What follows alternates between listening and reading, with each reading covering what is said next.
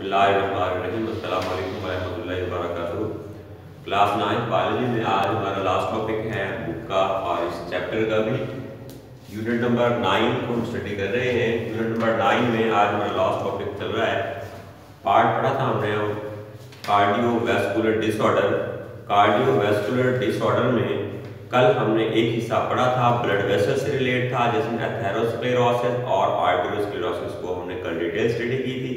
एक पार्ट रह गया था मायोकार्डियल इन्फेक्शंस जिसको आज हम स्टडी करने जा रहे हैं। तो myocardial infections commonly known as इसको क्या कहते हैं हम? हार्ट अटैक ही कहते हैं। मायोकार्डियल इन्फेक्शंस को आमतौर पर लोग हार्ट अटैक से हार्ट अटैक के नाम से ही जानते हैं। अब हम देखते हैं इसका मतलब क्या है। मायोकार्डियल इन्फेक्शन का मतलब क्या है? डिराइव किया गया वर्ड है दो। एक वर्ड का नाम है मायोकार्डियम दूसरे वर्ड का नाम है इन्फ्रेक्शन एक वर्ड का नाम है, हिस्सा है मायोकार्डियम मायोकार्डियम का मतलब है हार्ट मसल्स और इन्फ्रेक्शन का मतलब होता है टिश्यू डेथ टिश्यू डेथ इसका मतलब ये हुआ कि हार्ट के मसल्स की डेथ होना. हार्ट के टिश्यूज की डेथ होना. ये कलेक्टिवली मतलब हो गया किसका मायोकार्डियल इन्फ्रेक्शन का। क्योंकि मायोकार्डियल से मायोकार्डियम जिसका मतलब हार्ट मसल्स हैं, और इन्फ्रेक्शन का मतलब टिश्यू डेथ हार्ट के टिश्यूज की डेथ को हम क्या कहते हैं? मायोकार्डियल इन्फ्रेक्शन कहते हैं। अब ये मायोकार्डियल इन्फ्रेक्शन क्यों होती है? इसकी काजेस क्या है? क्या वो वजूहत हैं जिनकी बुनियाद पर ये हो जाती है? हमने लिखा दो, यहाँ पर रीजंस लिखी हैं काज लिखी हैं। एक है sudden interruption of blood supply to heart muscles अगर हार्ट मसल्स को अचानक ब्लड सप्लाई रुक जाए, ना पहुँच पाए तो जब उनको ब्लड नहीं पहुंचेगा तो इसका मतलब ये हुआ कि उनको न्यूट्रिशन नहीं पहुँचे तो वो मसल सर्वाइव नहीं कर सकेंगे डेथ होना शुरू हो जाएगी उनकी। दूसरा blood clot in coronary arteries coronary arteries coronary veins भी हमारे हार्ट के अंदर प्रेजेंट हैं, उनके अंदर भी ये क्लॉट फंस सकते हैं। तो कॉर्नरी आर्टरीज या वेन्स के अंदर अगर ब्लड क्लॉट जम जाए, फंस जाते हैं तो ब्लड सप्लाई नेक्स्ट पार्ट को रुक जाती है। जब ब्लड सप्लाई रुक जाएगी ऑटोमेटिकली मायोकार्डियल इन्फेक्शन जो है, उस पर्सन को हो जाएगा। जो उसको हार्ट अटैक का आर्जा जो है, वो शुरू हो जाएगा। तो दो काजेज हैं sudden interruption of blood supply to heart muscles फिर लिखा हमने blood clot in coronary arteries coronary arteries heart के अंदर जो आर्टरीज हैं, उनको हम कॉरोनरी आर्टरीज का नाम जो है वो देते हैं। अब ये बीमारी अगर हो गई है तो फिर हमें पता कैसे चलेगा कि हुई है कि नहीं हुई तो फिर बेटा हम इसकी काजेज सिम्टम्स देखेंगे इसके सिम्टम्स क्या हैं। अलामात क्या हैं। किसी बीमारी के लिए जब हम किसी डॉक्टर के पास जाते हैं तो हमेशा वो पहले क्या करता है? अलामात पूछता है। हाँ जी, आपके पास कौन कौन सी अलामत है? क्या क्या चीज़ आप महसूस करते हैं? और ख़ास तौर पर होम्योपैथिक डॉक्टर तो चलता ही अलामत के ऊपर है। वो अलामत ही पूछता है और अलामत के मुताबिक ही दवाई जो है वो आपको सजेस्ट करता है। तो अलामत में पहली अलामत है सिम्टम है severe chest pain sensation of tightness तनाव हो जाना प्रेशर पड़ना बॉडी के ऊपर, खास तौर पर चेस्ट के ऊपर चेस्ट के अंदर टाइटनेस तनाव पैदा होगा। चेस्ट के ऊपर प्रेशर सा पड़ेगा। ऐसा लगता है जैसे घुटन सी हो रही हो। और फिर पेन रेडिएट करता है फैलता है। किसमें? लेफ़्ट आर्म में भी फैल सकता है जा सकता है। लोअर जा नीचे वाले जबड़े में भी जा सकता है। नेक के अंदर भी जा सकता है। राइट आर्म के अंदर भी जा सकता है। बैक पुष्ट पर भी जा सकता है। तो ये कुछ पार्ट्स हैं जिनके अंदर पे, पेन जो है वो रेडिएट करता है। तो पेन फैलना शुरू होगा, पहले किसके अंदर आएगा? लेफ़्ट आर्म के अंदर आएगा। ये सर्दी है आजकल, खासतौर पर भी ये मसला हो सकता है। कि बादी चीज़ खा रही तो भी दर्द होना शुरू हो सकता है। बाद में बंदा ऐसे परेशान हो जाता है कि दर्द लेफ़्ट आर्म में शुरू हो गया तो परेशान हो गया तो मुझे हार्ट अटैक का मसला तो नहीं हो रहा। कोई बीमारी तो नहीं लग रही। तो सर्दी की वजह से बाद हो जाता है। आजकल मौसम में अगर ऐसा हो तो परेशान नहीं हो जाना फ़ौरन नहीं कि सर ने ऐसा पढ़ाया था तो मसला तो नहीं हो गया। तो लेफ़्ट आर्म के अंदर पेन का रेडिएट करना लोअर जा ये नीचे वाले जबड़े दो हैं, ये नीचे वाला जबड़ा, ये ऊपर वाला जबड़ा, ऊपर वाले दांत, नीचे वाले दांत, ऊपर वाले दांतों को अपर अपर जा कहते हैं, नीचे वाले को लोअर जा कहते हैं। तो लोअर जा के अंदर दर्द का होना नेक गर्दन के अंदर होना, दाएँ बाजू के अंदर होना, या बैक पुष्ट पर होना। इसी तरह लॉस ऑफ़ कॉन्शियसनेस यानी कि होश खो बैठना, यानी बेहोश हो जाना, ये इसका अंदर शामिल है। जब बेहोश होने लग जाएगा इवन हो सकता है कि सडन अचानक उसकी क्या हो जाए? पर्सन की डेथ हो जाए। जब तो दिल काम करना छोड़ देगा तो ला महाला फिर उसकी क्या हो जाएगी भाई? डेथ हो जाएगी। अब बीमारी हो गई है, फिर हम क्या करेंगे इसका? इलाज करेंगे। अलामत सामने आ गई है। पता चल गया हमें कि ये बीमारी है, फिर हम क्या करते हैं बेटा उसका? इलाज करते हैं ट्रीटमेंट करते हैं। तो सबसे पहले हमने उस पर्सन को क्या देनी है भाई? ऑक्सीजन सप्लाई दे दें ऑक्सीजन क्योंकि ब्लड जब सर्कुलेशन नहीं करेगा हार्ट पंप नहीं कर रहा ब्लड तो फिर क्या है? आपकी बॉडी की टिश्यूज तो ऑक्सीजन नहीं पहुँच पा रही है। ऑक्सीजन की कमी हो गई है। तो फौरी तौर पर पहले आप बॉडी को ऑक्सीजन सप्लाई देनी चाहिए। उसके बाद खून को पतला करने वाली टैबलेट है एस्प्रीन डिस्प्रीन आप यूज़ करते हैं सर दर्द के लिए भी। उसका मकसद यही होता है। एस्प्रीन भी एक टैबलेट है, जो आप फौरी तौर पर उस पेशेंट को दे सकते हैं। फिर एक टैबलेट है सब लिंगुअल जो जबान के नीचे रखी जाती है इस टैबलेट का नाम है ग्लाइसराइल ट्राइनाइट्रेट ग्लाइसराइल ट्राइनाइट्रेट इसका जबान के नीचे रखना था फ़ौरन ये जो है वो आ, अंदर चली जाए मतलब जो है डिजॉल्व होकर चली जाए। इसका मकसद यही होता है कि फौरी तौर पर ये आपके ब्लड को पतला कर देती है ताकि ब्लड सप्लाई जो है आगे मूव करना जो है शुरू कर दे। तो फौरी तौर पर ये आपका ट्रीटमेंट है कि आप ऑक्सीजन सप्लाई दे सकते हैं एस्प्रिन की टेबलेट दे सकते हैं, या एक सबलिंगुअल टेबलेट है जो जबान के नीचे रखती है, इसलिए सबलिंगुअल का वर्ड यूज़ किया है। ग्लाइसराइल ट्राइनाइट्रेट ग्लाइसराइल ट्राइनाइट्रेट ये टैबलेट है जो हम उस पेशेंट को फौरी तौर पर दे देते हैं। फौरी तौर पर तो ये इलाज कर सकते हैं, लेकिन लॉन्ग टर्म के लिए हमें और इलाज करना पड़ेगा। हम वक्त ये इलाज मुमकिन नहीं होगा, बीमारी बढ़ती जाएगी। तो नेक्स्ट पेज पे चलते हैं तो देखते हैं किस तरह से जो है long term treatment long term treatment में हमारे पास पहला इलाज है बेटे एंजियोप्लास्टी कहते हैं क्या कहते हैं इसको?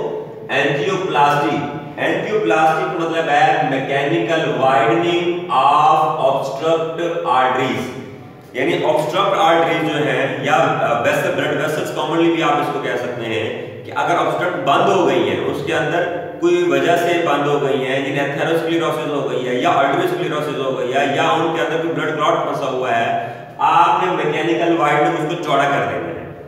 इसको क्या कहते हैं? एंजियोप्लास्टी तो इसके लिए जो चौड़ा करने के लिए चीज़ें हम लगाते हैं, उसको हम स्टंट कहते हैं। क्या कहते हैं उसको हम? स्टंट लगाकर जो है, उसको हम खुला कर देते हैं, चौड़ा कर देते हैं, ताकि ब्लड जो है आसानी से फ्लो कर सके। दूसरा ट्रीटमेंट है, ये आर्जी तौर पर है, अगर किसी एक जगह पर है तो आप इसको कर सकते हैं। फर्दर ऑन अगर ज़्यादा जगह पर वो आर्टरी या वेन जो है वो आपकी ठीक नहीं काम कर रही, ये सुकट गई है किसी वजह से उसके लिए फिर हम यूज़ करते हैं बाईपास सर्जरी बाईपास नाम से ज़ाहिर है बाईपास सर्जरी यानी कि आपने ग्राफ्ट कर देना है। क्या करना है? ग्राफ्ट कर देना है। बॉडी के किसी हिस्से से आर्टरी को लेना है और कॉर्नरी आर्टरी हार्ट के अंदर जो है उसकी जगह पर उसको लगा देना है। यानी जो टुकड़ा हुआ हिस्सा होगा, वो आपने समझ निकाल लेना है और बॉडी से जो आपने आर्टरी ली है, वो वहाँ उसकी जगह पे आपने लगा देनी है तो इसको हमने क्या कहा?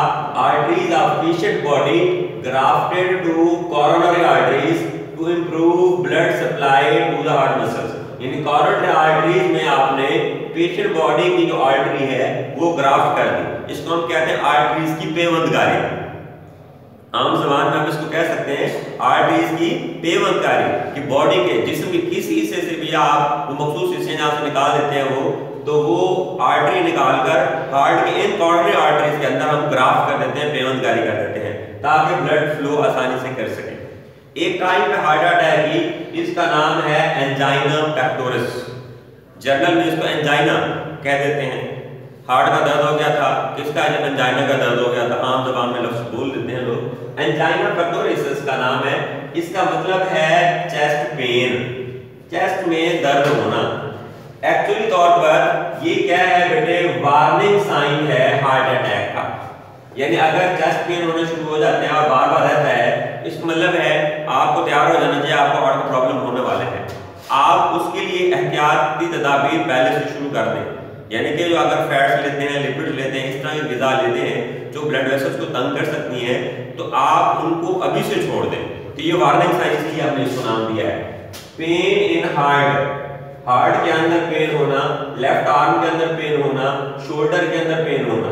तो ये हमारे पास इन, अगर ये अलामत आना शुरू हो जाए तो समझ लो वार्निंग साइन हार्ट अटैक आपके पास आ गया। एंजाइना का आपके पास मसला होने वाला है तो आप अपनी तैयारी कर लें। एहतियाती तबीर अपनी गजा में तो अभी से शुरू कर दें और फिर अपने मेडिकेशन का इंतज़ाम करना शुरू करें। फिर कुछ इंफॉर्मेशन हैं, जैसे लिखा है one fourth all myocardial infarction are silent एक चौथाई, तमाम मायोकार्डियल इंफ्रेक्शन में एक चौथाई हिस्सा जो है, वो साइलेंट है। साइलेंट से मतलब ये हुआ कि ये मसला हो गया, मगर सिम्टम अभी ज़ाहिर नहीं होंगे। अलामत सामने नहीं आएँगे। अलामत ना आने की वजह से बेटा, हम इसको क्या कहते हैं साइलेंट हार्ट अटैक कहते हैं। क्या कहते हैं इसको? साइलेंट हार्ट अटैक कहते हैं। यानी पहले अलामत नहीं होगी, अचानक हार्ट अटैक हो जाएगा। इसकी वजह से इसको हम क्या कहते हैं साइलेंट हार्ट अटैक कहते हैं क्योंकि इसकी सिम्टम्स नहीं आती। फिर world heart day world heart day दुनिया में हार्ट डे मनाया जाता है कब? 28 सितंबर को। हर साल 28 सितंबर को हार्ट डे मनाया जाता है। बेटे, इस हार्ड डे मनाने का ऑब्जेक्टिव क्या होता है? इसका मकसद क्या है? लोगों को आगाही देना, लोगों को दिल के बारे में बताना। दिल काम किस तरह से करता है? इसको मसाइल किस किस वजह से आ सकते हैं? इसका ऑब्जेक्टिव मकसद इस दिन के मनाने का ये है कि लोगों को दिल की बीमारियों के बारे में भी बताना कि ये ये बीमारियाँ हो सकती हैं और इसके बचाव के ये ये तरीके हैं। ये बेटा इसका क्या होता है? ऑब्जेक्टिव होता है। तो myocardial reflection in Pakistan Pakistan के अंदर इसके क्या क्या रेशियोज हैं, ये थोड़ा हम डाटा देख लेते हैं। तो इन्होंने लिखा है कि 12 percent of adult death myocardial infection की वजह से होती है। 12 परसेंट ये एमसीक्यूज में चीज़ें आ सकती हैं, इसलिए परसेंटेज बार इसकी करेक्ट आपको याद करनी होगी। हाइपरटेंशन जो है मोस्ट कॉमन रिस्क फैक्टर है कार्डियोवैस्कुलर प्रॉब्लम कार्डियोवैस्कुलर डिसऑर्डर का या प्रॉब्लम का कॉमन रिस्क फैक्टर कौन सा है? हाइपरटेंशन है। और इन्होंने बताया है over 12 million over 12 million hypertension patient है पाकिस्तान के अंदर। 12 मिलियन हाइपरटेंशन के पेशेंट है पाकिस्तान के अंदर। और उनमें 12 मिलियन में 85 परसेंट पेशेंट जो है रूरल एरियाज़ में मौजूद है हाइपरटेंशन के। और सबसे बड़ी मज़े की बात ये हाइपरटेंशन होती क्या है? हाइपरटेंशन में मौजूद है, लेकिन उनको नहीं पता हाइपरटेंशन जब पता ही नहीं कि होती क्या है तो उनको कैसे पता लगा कि मेरे अंदर है या नहीं है? तो हाइपरटेंशन क्या है? ब्लड प्रेशर का ज़्यादा होना जिसकी वजह से आम जबान में लोग कहते हैं टेंशन का बढ़ जाना भी कह सकते हैं उसको। तो ब्लड प्रेशर जो है, इसमें ज़्यादा होता है खासतौर पर तो 85 परसेंट रूरल एरिया देही इलाके के जो लोग हैं, वो इससे अनअवेयर है। और 10 परसेंट पेशेंट जो है, वो डायबिटीज़ डायबिटिक पेशेंट है। यानी उनको शुगर की बीमारी है।